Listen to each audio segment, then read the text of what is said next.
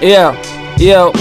My feet never fit the concrete in Los Angeles, so I kept it in. Why I see you on the flip side, running out of Soul Flight Club got me covered though. Time to pack my bags and catch a flight to another show. Time was on my side until my clock started laughing at me. Who can I confide in when my mind's the opposite of happy? My therapist said I should probably buy a plant instead of fucking with these scallywags. What type of shit is that? So now it's just me and my bonsai tree. I'm trimming him instead of getting tripped from blinds. I see. Line him up, I got my ducks in order. Whenever I'm not show, it's time to run for the border. Yeah.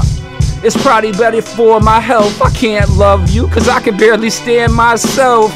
I'm running and diving, shucking and jiving, trying to shake and bake to make a couple ducats to die with y'all.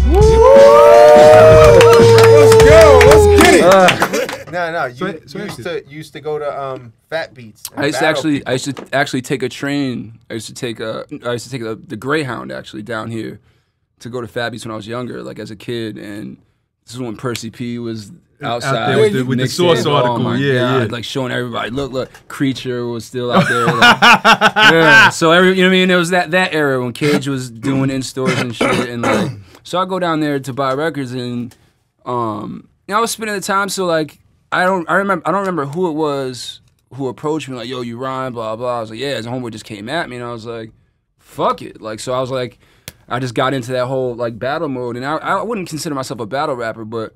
I had, I had my fair share. I, I, But when had it came up, of- you took care of it. I had to. I had Whoa. to. And actually, my first, my first, uh, I guess my first MTV experience was uh, on Direct Effect. I wanted a, a, a battle uh, on Direct Effect. This is when Lala and Clue were know Oh, the hosting. direct effect, that's Yeah, back in the day too. And yeah. uh, I battled, uh, I battled this kid from. Uh, he said he was from Philly, but was really from Reading.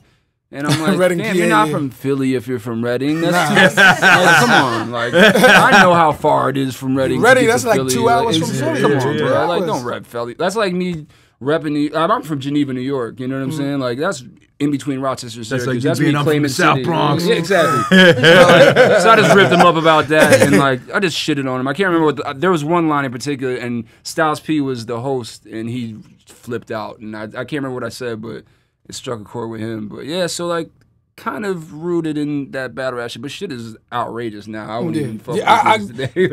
like, I, I couldn't take the disrespect. I couldn't take it. a I couldn't take it.